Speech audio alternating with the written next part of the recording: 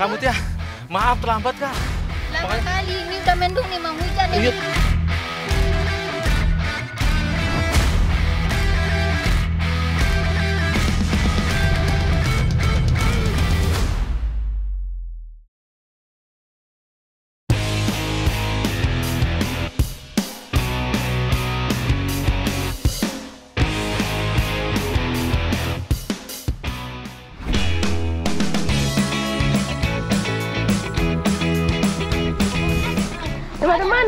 Lapangan yuk. Yuk yuk yuk yuk.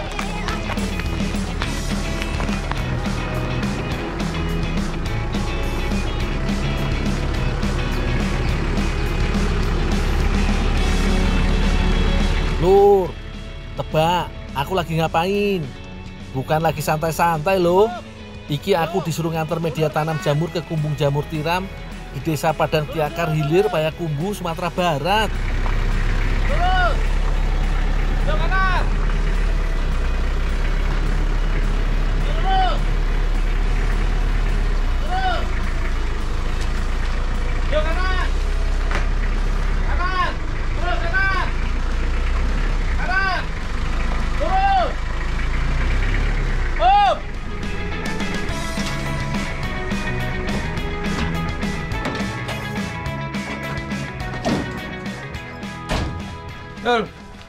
saya mau ke toilet dulu bentar ya.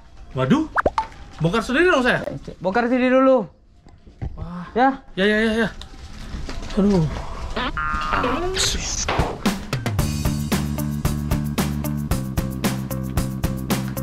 Walah lur, lumayan banyak yo kerjaku. Tapi ndak apa-apa, harus tetap semangat yo lur, biar produktif toh.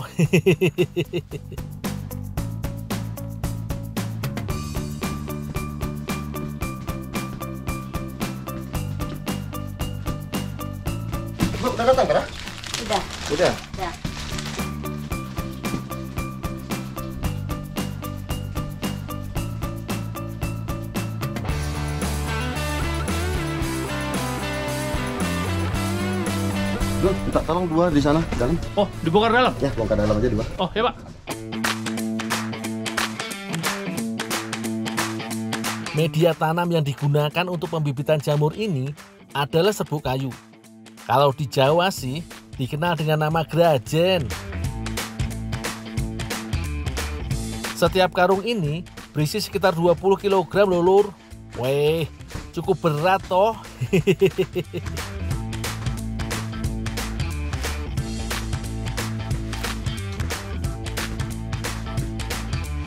Serbuk kayu sangat bagus jika digunakan sebagai media tanam jamur.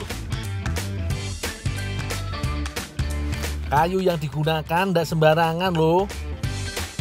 Soalnya serbuk kayu jenis tersebut sangat berpotensi dalam meningkatkan hasil panen jamur tiram karena banyak mengandung serat dan nutrisi yang dibutuhkan oleh jamur. Dul? Udah, Pak. Ini baru mau nyampur. Ya udah, tolong isi backlog aja dulu. Oh, misi backlog, Pak. Ya. Oh, iya. iya.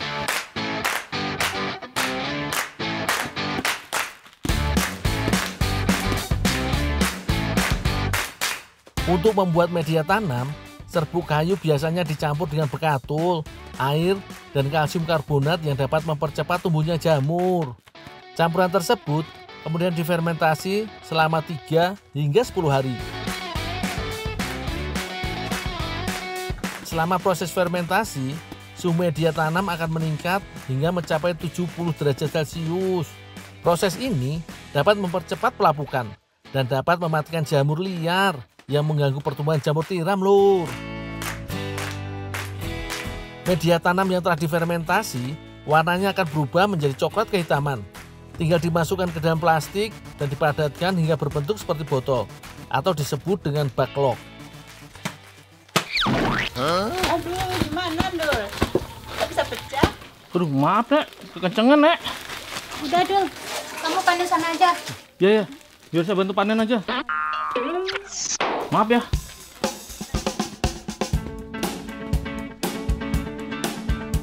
Disuruh anu bantu panen jamur. Kayak tuh keranjangnya dong. Oh, ini Mai. Dipotong atau cabut? Cabut aja. Oh, cabut aja. Iya. Oh, ya Mai.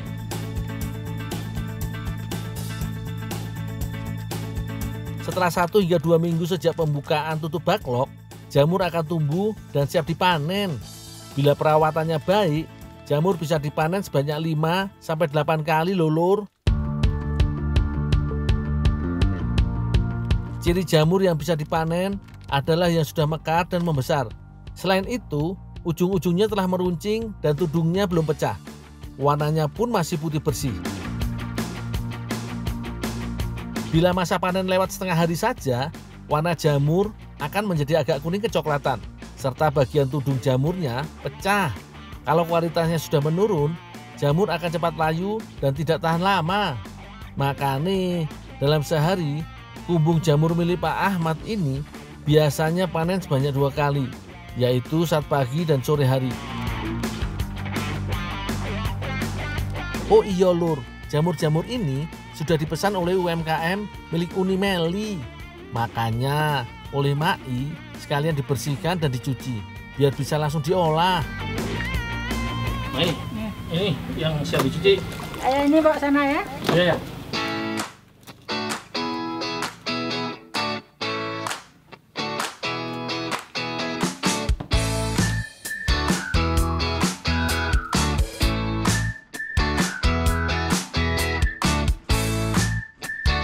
Yuk. Bu, jamurnya Bu udah selesai dicuci?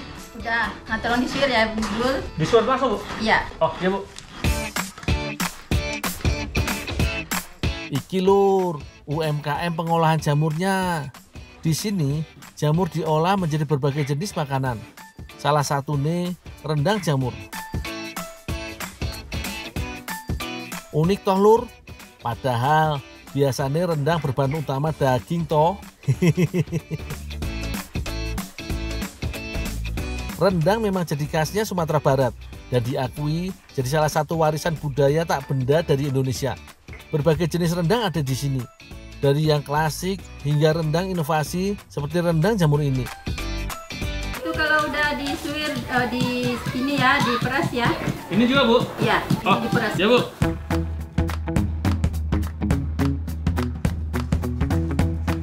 Jamur tiram memiliki kandungan air yang cukup banyak lur. Makanya sebelum diolah harus diperas terlebih dahulu. Tapi bukan menggunakan tangan loh lur. Alat yang digunakan ini namanya kaji.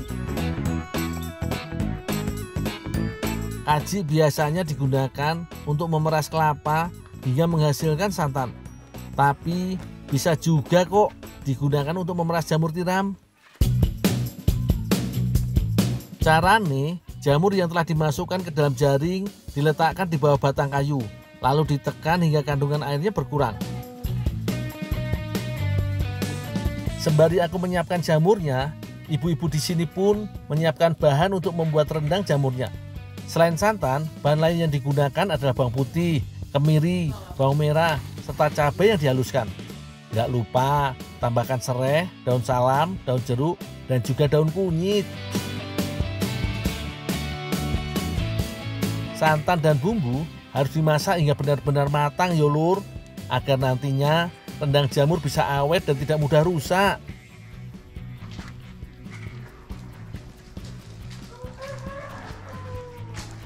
Bu, Ya, ini Bu, jamurnya Bu udah disuir-suir, udah dipres semua, Bu. Ya, makasih ya, Ndul. Oh ya, Ndul boleh minta tolong diantari rendang yang setengah jadinya sama Ibu Gina. Oh, iya, ya. Nah, makasih ya, Ndul. Iya, Bu.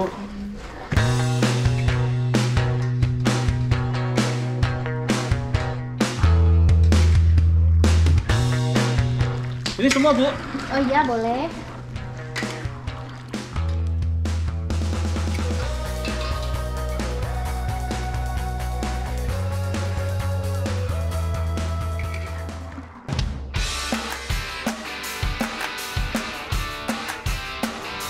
Nih, masak. Iya. Oh. Duh, Yuk, mana, Kak? ini dulu. Oh ini. Oh, ya. Unik Gina, ini disuruh nganter rendang jamur. Oh iya, makasih ya. Oh ya, ada yang bisa dibantu lagi nih? Tolong kukurin kelapanya dong, Dul. Oh, ukur kelapa? Iya. Oh iya.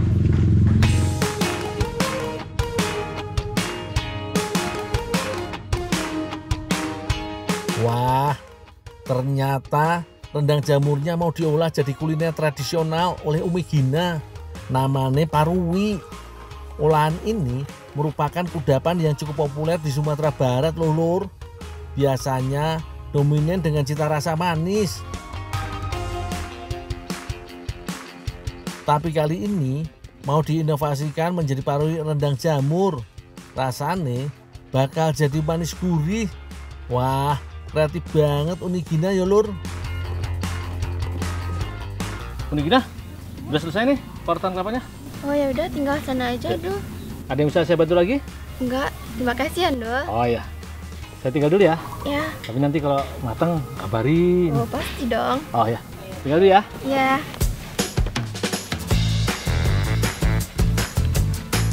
Singkong dicampur dengan gula, susu bubuk, serta kelapa parut. Kemudian adonan diuleni hingga tercampur rata. Selanjutnya, adonan dibagi menjadi beberapa bagian, lalu beri warna sesuai selera. Kali ini, Unigina menggunakan pewarna merah dan hijau serta warna asli dari adonan paruitnya. Jika semua warna sudah rata, ambil sedikit adonan, pipihkan dan isi dengan rendang jamur. Bentuk adonan menjadi bulat lonjong.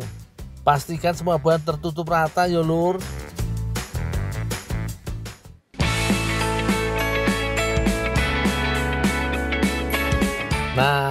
Sekarang tinggal proses memasaknya.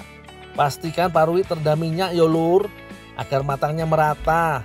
Eh, jangan lupa dibolak-balik loh, biar gak gosong.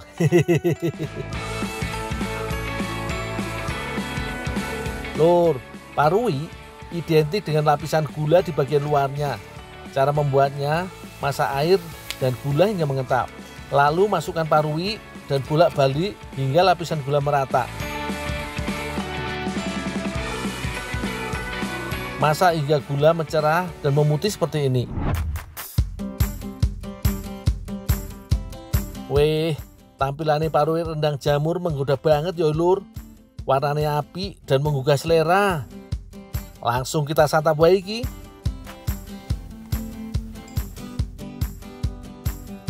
Nikmat betul yo. Kombinasi rasa manisnya gula dan gurihnya rendang jamur menyatu di lidah. Teksturnya pun beragam. Ono garingnya parui dan gula serta kenyal dan lembutnya rendang jamur. Betul-betul layak dicoba iki lur. Rasane enak banget.